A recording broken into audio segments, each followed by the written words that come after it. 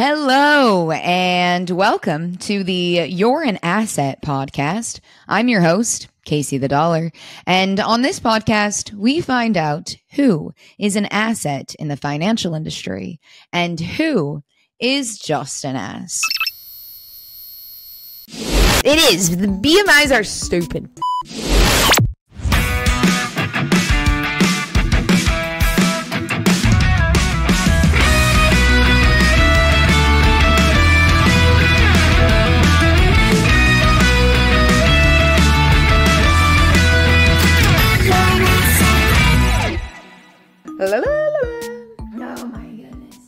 Today's episode is going to be very special. We are allowing for viewers, listeners, fans, clients, potential clients, come to the show, come get your questions answered. We're basically doing a live Q&A um, on today's episode of the You're an Asset podcast. So let's get started. Awesome. Well, Dustin's calling in here with uh, some questions about stuff and things. So let's go ahead and Amazing. Let Dustin Bring in him in. Dustin. Dustin. Hey, how's it going? What's going on, my Oh, friend? same old same. I uh, I'm glad that you're doing this call. I've been thinking about doing it myself, and I have not. So I'm glad that you put the foot forward. I'm just too lazy to do this. Yeah.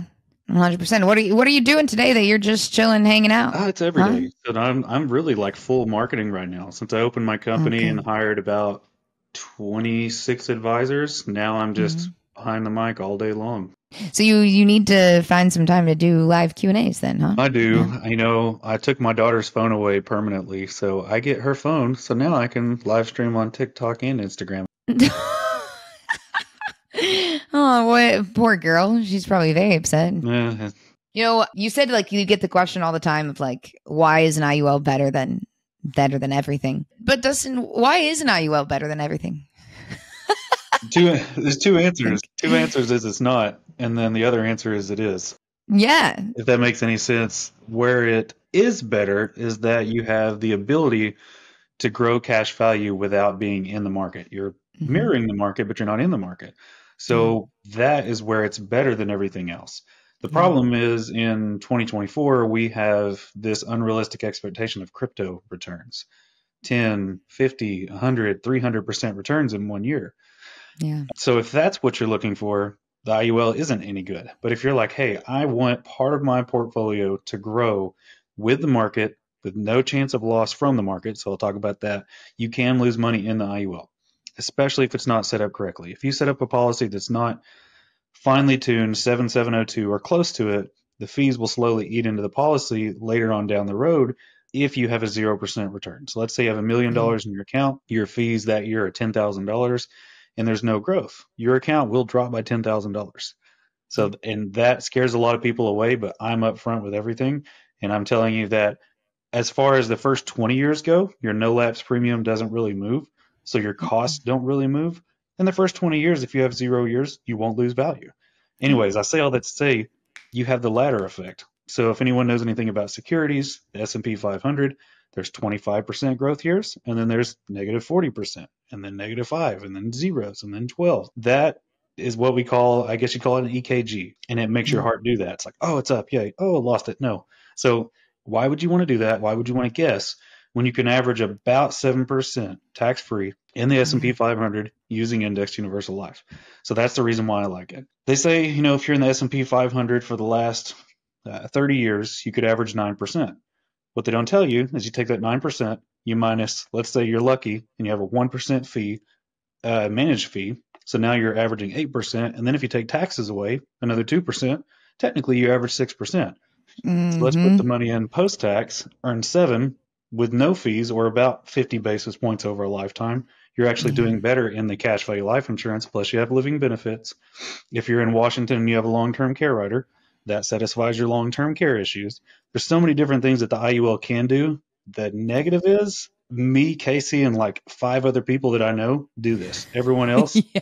they set them up with fat targets, fat death benefits. Some lady messaged me the other day and said, I wanted to do $70 a month. And this agent from this three letter agency wrote me a $400,000 death benefit IUL.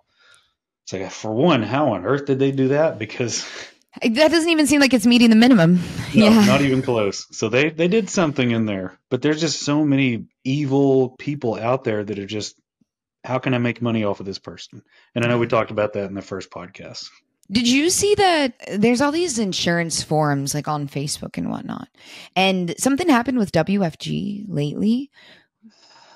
Did you see this? Oh, I know all about it, and I knew about it about three months ago because the guy who's pushing it so much, I've been in his DMs for months telling him, you know, you're capped at 55% commissions, and that this carrier you keep using actually gives 155% commission. So, in other words, WFG is overriding you 100%. No, that's not how it works. Not how it works. Is this Eric Olson? No, Eric, I don't really personally know. It's Money Mythbusters Matt uh, Schloss. Oh, I've talked to him for hours, hours about commissions, uh, schedules, bonuses. Like bonuses aren't free. That bonuses come from overrides. The only way WFG can pay out bonuses is if they override you and then give some of it back. That's like two weeks before he went ahead and said we're going to leave and we're going to go to GFI, I believe it is. We're going to set up GFI.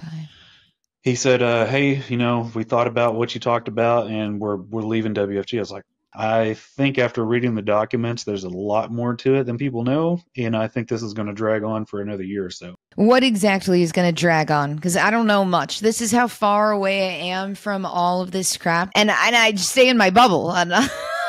all I know is that there's some guy named Eric Olson, WFG. He decided to talk about how they're getting screwed over there. I didn't realize that that all related back to Money Mythbuster. Yeah, he's uh he's like the top five producers under Eric Olson. I don't want to say too much because I don't want to get in trouble, but he's like the cult leader, and everybody else is kind of the minions.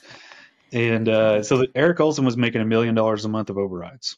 That's everybody knows him because he's just making tons of money. He That's found insane. out years and years and years later that he didn't own his own business. The fact that he was there that long and he was getting paid these overrides, he should have known that. But he came out and said, Hey, I don't own my business. I didn't know that. So I'm going to lose a million dollars of overrides to go start my own thing. The devil in the details is months before he even talked about this, he was recruiting people within WFG saying, Hey, I'm about to leave. Do you want to come with me? And that's completely against his contract. So the reason why he's getting countersued is he was trying to recruit people to his place before he even left. Is he the guy that started this GFI? Place? Yeah, Eric Olson, he's the GFI leader. Got it. Got it. I mean, he's been in the business for a while. He's a big name, but like he seems like he's do- doing things right. Like I have no problem with him. I'm not planning to call him out on anything other than like what's going on with the recruiting. Are you training people to do the right thing, or what's up? There's only two things I have wrong. Uh, an issue with, with Matt is he writes a lot of volatility control indexes, which you just talked about, and then two is he writes a lot of bonus annuities because he's kind of dangling the carrot in front of your face. If you know anything about bonus annuities, whoever's listening, a bonus annuity actually came out to get you out of a crappy annuity or something with a surrender charge. He says, "Oh, you have a million dollars in the old 401k. What if I could get you $100,000 tomorrow? Oh, that's great. Here you go. Sign the dotted line." But what they don't tell you is, let's say your annuity has a 5% spread. So the S&P goes up 25%, you get 20 because they spread 5%. They take 5% for Yeah. themselves. That they have to make money somehow. Now your spread may be 9%. So it's a bigger spread because insurance companies, they're not dumb. They're the best in the world at controlling the controllables. So if they know, hey, Casey rolls over a million dollars in her lifetime or in the next 10 years, let's say, at most, we're going to give her $700,000 of credited interest at the most. So if we give her 100 up front, we can only allow her to make 600 for the rest of the year. So that's how they spread the caps or lower the cap spread. They know so much is going to go to you. So the bonus is just coming off the back end. 100%. I, I literally show people the bonus, then the not bonus, because everyone's heard about, well, can't you get some bonus for rolling over your money or whatever? And then you show them the product without the bonus, and they go, well, this one is better. And it's crazy because even the projections of the cash value are better. No Yeah. bonus. And it looks better. And people are like, oh, I'm confused. Why? Like, I mean, you have to think about it from just a contractual standpoint. If you sign a 10 year contract to roll over money, the day you give them the money, they're going to take your million dollars and they're going to spend it. They're going to go make more money on your money. So the reason why they have a contract period is if you come in five years later and you're like, hey, I need all my money back, they're going to charge you an eight, seven, ten percent fee because now they have to go liquidate some bonds, pay you back. So in that case, if they're giving you upfront, even if it is on like little digits on paper saying we're going to give you 10% bonus, they're on the hook for 10% no matter what. So they're going to give you less on the back end. Their risk went up. So therefore your risk went up. So, so you're saying that he's selling a lot of annuity. How do you know that? Like, how do you know he's selling bonus products? Uh, well, You're seeing one, it? Yeah, if you go back and watch his annuity videos, almost every time, if you look at the product name in the corner, it's some kind of bonus annuity. Oh. It's it's sneaky though, right? Because you have to be really paying attention to that kind of stuff to catch That's it. why I hate it, is because other people aren't professionals. Whenever someone bait and switches you with, "Do you have a hundred eighty thousand dollar bonus?" That's what it is. I have a video that I want you to watch right now.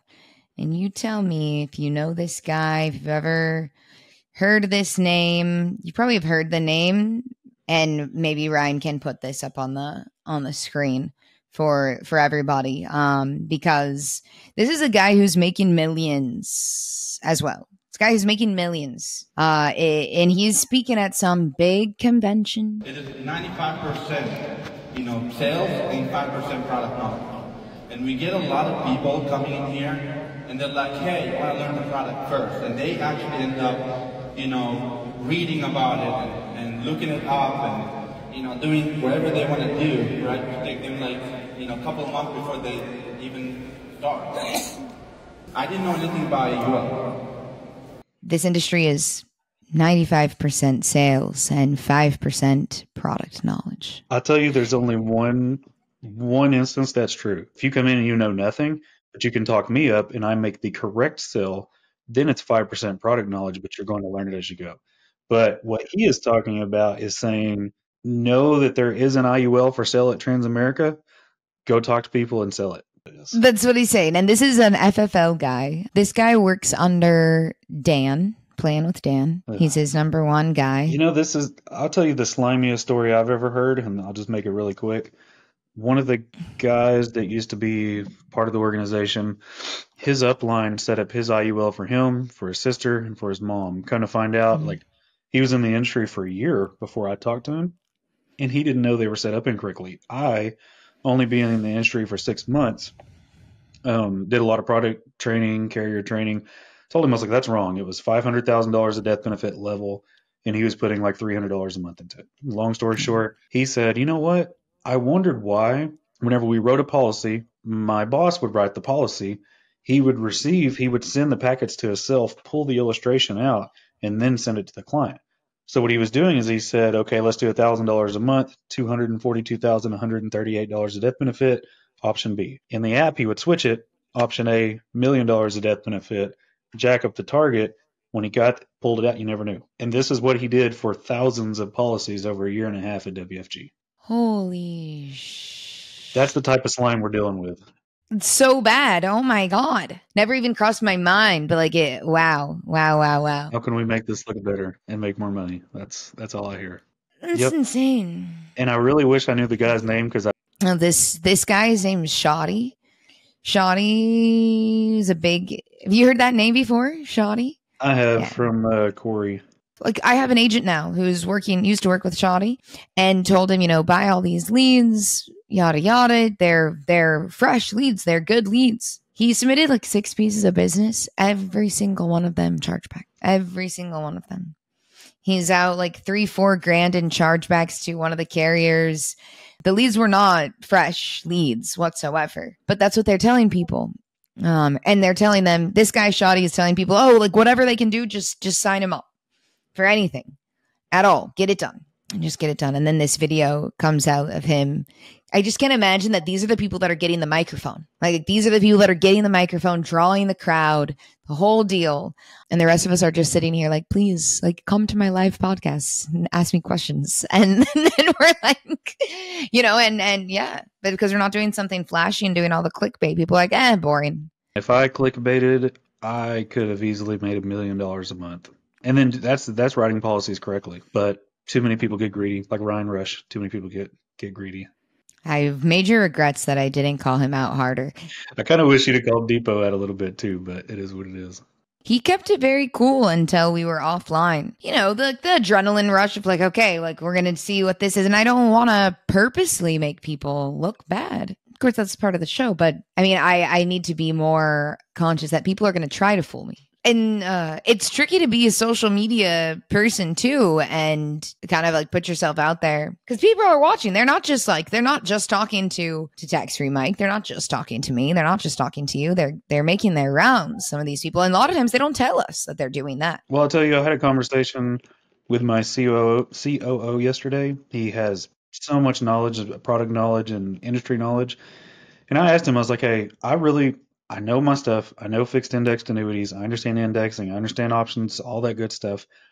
I see so many of these Facebook groups where these people have been doing this for 15, 20, 25 years. And they say if you put someone in an FIA under the age of 60, you're not doing right by the client. And he goes, wait, so someone's saying that a product doesn't make sense over managed money. And I said, yes. He goes, well, they must not be a fiduciary because that's not the case. It's whatever the client wants is what they get. So it's kind of like a fine line. When you come to a CFA, CFP, if someone says, Hey, I want an IUL because I see all these videos, you're like, okay, here it is. No, I also want flexibility in it. No, I don't, I don't want to give you flexibility because it's going to underperform. We're not going to do that. Well, that's what I want. So, I mean, honestly, if you don't give it to me, I know the structure, I'm going to go to someone else. So then if you write it, the blood is not on your hands anymore, but since they said, okay, this is what I want, go ahead and move forward. Well, I said all that to say that fixed indexed annuities, do they make sense for people under 60 years old? Or am I just, am I personally being taught wrong? Am I researching wrong to make more money? And he said, no. If, if someone says they want to track the S&P 500, they want no fees. They understand they can't touch it for 7, 10, 14 years, whatever it is. And they're okay with losing a little bit of the upside then they just they told you exactly what they wanted. You have the fit, yeah. go put them in it. And I say all that to say, he said, financial advisors and financial planners are taught that if someone says, "I want this," you don't ask questions. So if they said, I want this policy. I don't care what the costs are. It looks good. And then they come back five minutes later and say, but what's the cost of insurance? Isn't there something on here? They technically don't have to say it because their fiduciary duty is to give you what you asked for in the first place. Completely wrong. You, you get it. Completely wrong, yeah. but that's what they do. I, you know, that my first annuities ever were for a 27 year old. Really? First annuities I ever did, 27 year old. And I'll tell you what, this girl, she has much older parents. Okay and she was just tripping about the stock market. She was like, I can't believe that I put this much money in the stock market already. She had a 401k and a Roth IRA. And we literally did roll her Roth IRA into uh, an annuity. She was like, I don't, I don't care. I do not want to have to worry about my money going anywhere. I don't want to have to check it. I don't want to be on the roller coaster. I I am done. I'm never going to put my money in the stock market again. Her parents I've been doing that her whole life and she has become she has the oldest daughter just like constantly taking care of them, right? Taking care of them, trying to make something of herself and be a better manager of her money and she's watched them go through 2008 and not have anything, get to retirement age, not be able to retire and she was just like I'm not going to do it. I'm not going to do it. I don't want it. I'm not interested. Give me something else. You know, and so I always bring this up with people are like, can I get a uh, an annuity? Isn't that like for old people? No, it's not. It's for people who don't want to put their money in the market and you don't trust the stock market. Like that's as simple as it is. There's nothing else to it. Like it's a preference. Well, the biggest argument is why would I cap myself at 12.5% when the stock market went up 25%? And you always go back, of course, you know, past performance doesn't dictate future. Mm-hmm. Um, but 2008, 2019, all these years that we had huge crashes and it took you three, five, seven years to break even, they don't see the break even point because they don't understand how fees work. If you have a 25% return with a 2% fee, you only had, you know, minus 2%. So the FIA, as long as someone understands that it's a contract, as long as someone understands that there's a floor and there's a cap, there's a reason, like you said, there's a reason there's a cap because there's a floor. Mm-hmm. Like we're giving mm-hmm. you all the upside. Why would we, or we're giving you the downside protection. Why would we give you all the upside? There's a reason for all these things. And if someone, like I have a client I'm meeting with tomorrow, we met 14 months ago and we talked about an IUL and he went with MPI because their illustrations looked ridiculous. And 14 months later, he's like, Hey, my wife did MPI. I didn't really care for it. I'm going to see what it does in the next two or three years and see if it implodes.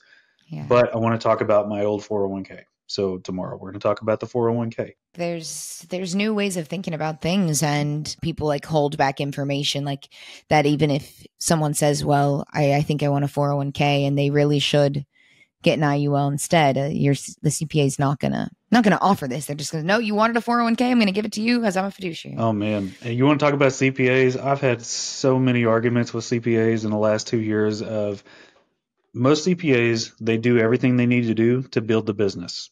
Once they get Mhm. enough business to where recurring revenue pays the bills, now everyone goes in this cookie cutter. At the end of the year, we'll do your taxes. If you're a business owner, we may do the Augusta, we may do this, we may do that. But for the most part, their job is to save you as much money now in taxes. So if you go tell them, hey, I want to go do this IUL, no, keep doing your 401k match because it's going to drop you a tax bracket. It's going to drop you a tax bracket. If you're in the 24% tax bracket and you're pumping 22,500 into your 401k to drop 2% when taxes could double by 2035, nonsense. Nonsense. I mean, Nonsense. I could ramble all day long as far as taxes go, but and most advisors aren't taught to do taxes because it's too complicated. They'll say you're not a tax advisor, you're not a CPA, so don't worry about it. So then who's gonna worry about it? You're going to worry about it when you're 65 years old and take that first check. Yeah. And that's that's the only time you're gonna worry about it. I mean, what do you what do you say to someone who's like, well, can I how can I write off my insurance premiums? You can't write them off. That defeats the purpose.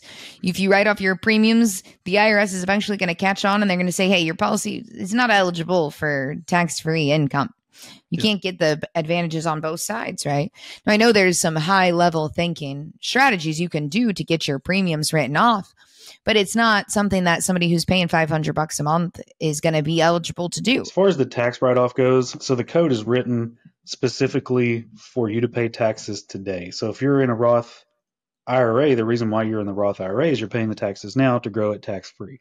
Pay taxes on the seed or the harvest. It's the simplest way to really talk about taxes as far as cash value life insurance goes. But the only way you can technically write off premiums and it state non taxable is through a thing called CSD or capital split dollar. We'll talk about football. So the Wolverines, their head coach, he quit this year, but he had a capital split dollar plan. What that means is a bank is going to loan money, finance money into the policy, and you pay the interest only to the bank. So let's say you mm-hmm. put a million dollars a year in, the interest rate's 10%, you pay $100,000 that year to the bank in interest. So a million dollars went into your policy, you only had to pay 100,000.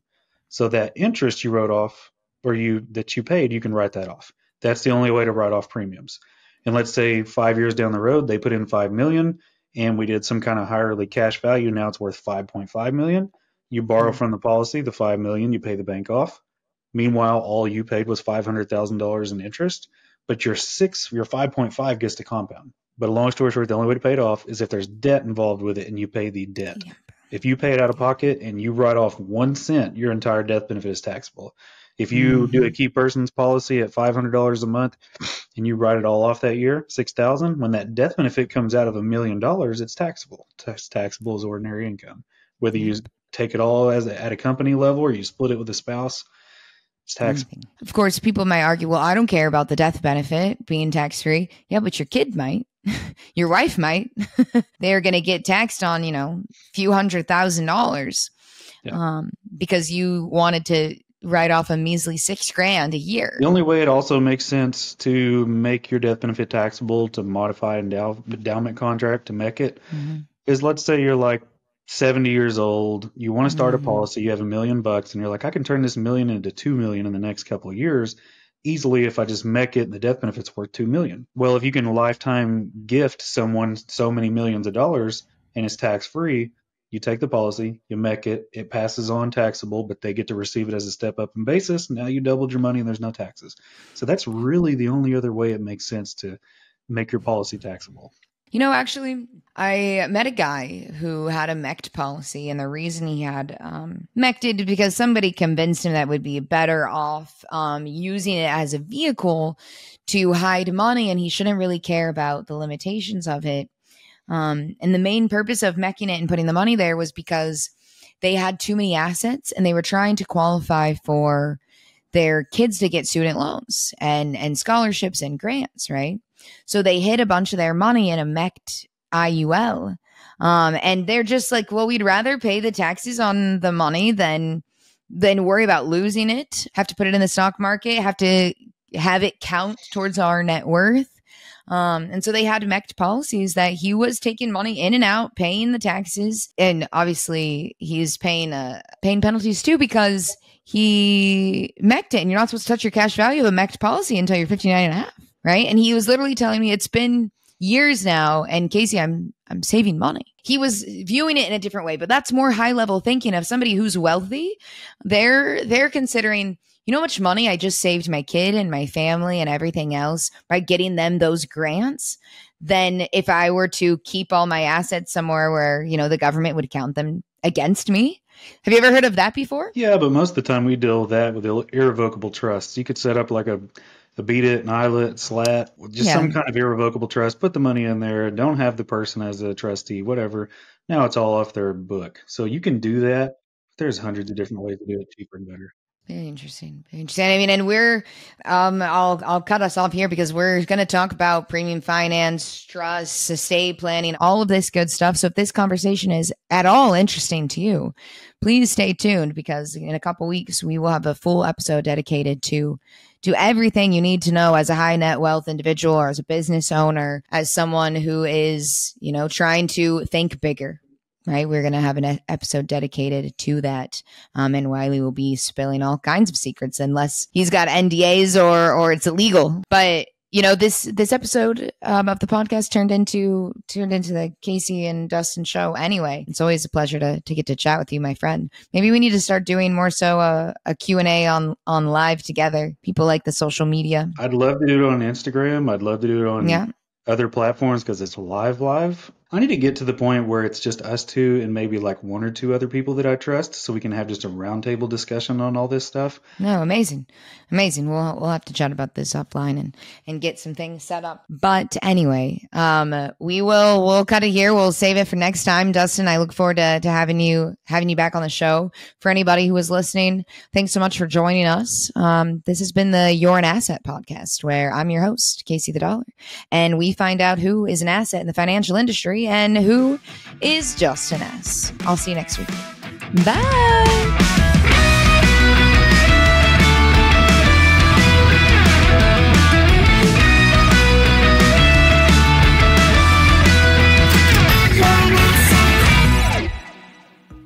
The You're an Asset podcast is not giving financial advice. We are not licensed financial advisors, and our licensing is strictly in insurance products. The information that we talk about is specific to the products that we work with. We cannot guarantee that other agents will have the same product features that we discuss on the show.